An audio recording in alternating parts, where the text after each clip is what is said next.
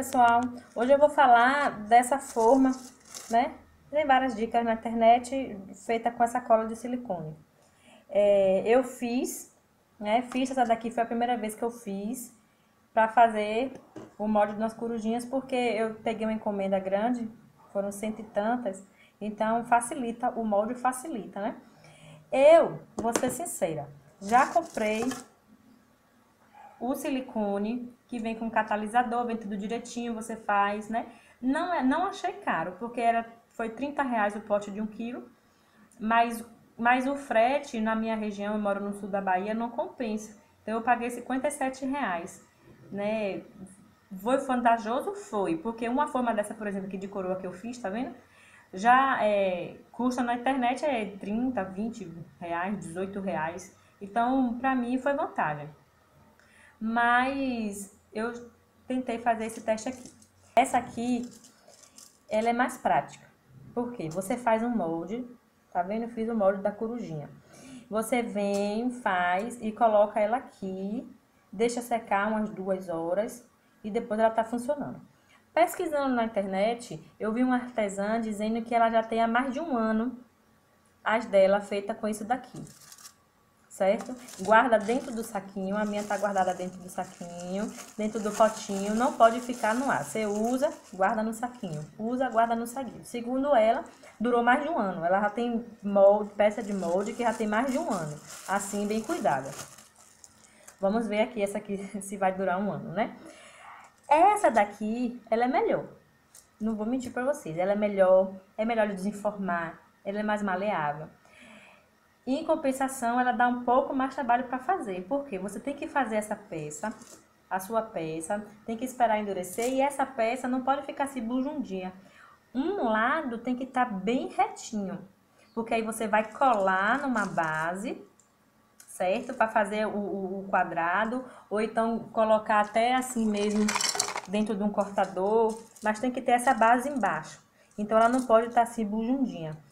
E aí você vai colar, vai jogar em cima e vai esperar secar. Eu, eu geralmente faz, fazia as minhas peças dessas de noite e de manhã já estava pronto.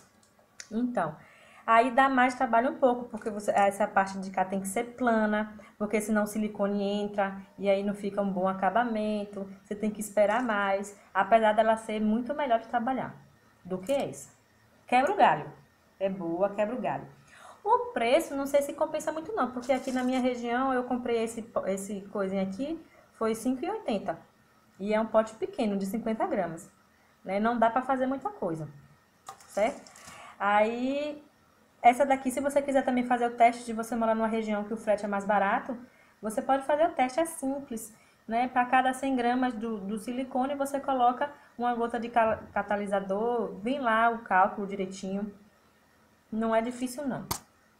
Então, vamos lá. Aqui a gente coloca o amido de milho. E eu tô dizendo amido de milho porque eu não tô usando a maisena. tô usando essa aqui, ó. Que mimo. Amido de milho porque é mais barato. E fazer a cola. A gente coloca a cola. Outra coisa. É bom se você tiver usar uma luva eu não vou usar porque eu não tenho. Eu descobri isso ontem. Porque isso aqui, quando cola no seu dedo, faz uma meleca. Pra tirar, dá o maior trabalho. Tive que tirar com sabão em pó e passar papel.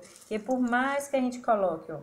Você colocou o amido de milho e vai cobrindo essa cola com amido de milho. Para tentar ter o mínimo de contato com essa cola. Primeiro que ela pode desenvolver uma alergia na sua pele, né? E segundo, que para limpar, eu descobri isso ontem, que dá muito trabalho, fica aquela gordura assim, aquela capa. Aí tive que tirar com sabão em pó e passando papel para tirar, certo? Aí você vai mexendo. Ela não rende muito não. E sempre colocando, ó, o Tá vendo? Aí vai fazendo assim, Coloca mais um pouquinho. Eu tô com trauma. Eu não quero que ela grude na minha mão de novo. Aí você vai, ó, aqui, ó, fazendo. Vai ficando esse, esse coisinha aqui. Não dá para amassar muito não, não amassa muito não, porque senão essa ela escorre e vai grudar na sua mão. Acredite em mim. É horrível para lavar. Não sai com detergente. Só saiu com sabão em pó. Isso. Aí, ó, hoje eu tô mais esperta, ó. Fiz um. O ponto dela é quando tiver assim, bem maleável e você tiver... Não tá grudando, tá vendo? Hoje eu acho que eu não grudei. Porque eu coloquei um monte de maisena de amido. Aqui. Pra eu fazer essa peça aqui, ficou pequena. Tá vendo? Ficou pouco. Então, eu vou completar aqui. Por isso que, assim, a vantagem não é muito... Não acho, de, a questão do preço, não achei muito, muito mais vantajosa, não. Se você for colocar na ponta do lápis. Agora, vai pela praticidade. Aqui, ó, tá vendo? Já consegui fazer assim.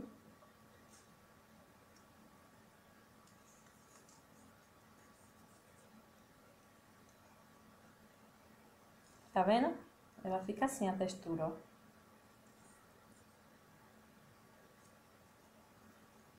Vou fazer esse floco de neve. Então, eu fiz aqui. Eu vou pegar esse cortador. Eu vi aqui, tá vendo que cabe? Vou colocar essa massa aqui dentro, só para dar uma... Ficar direitinho, não esparramar muito. Fazer a bolinha aqui, direitinho. Vou colocar aqui, ó. Não tem segredo. Não dá pra ver daí não, mas não tem segredo. É só você empurrar. Com cuidado também, pra não ficar... Ela não pode sair no fundo da peça, né?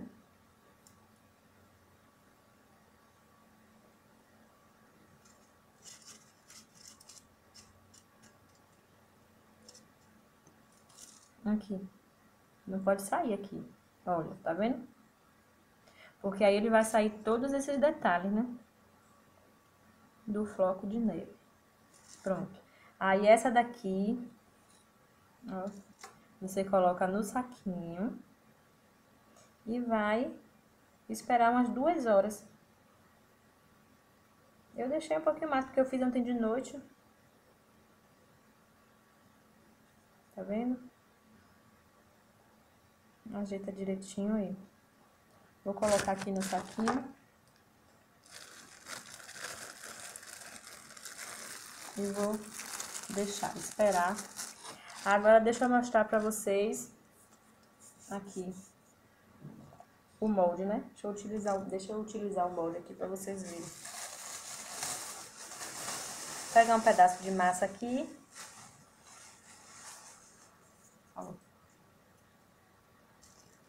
É tranquilo também. Não é molinho, tão maleável quanto o outro não. Aí, tá vendo?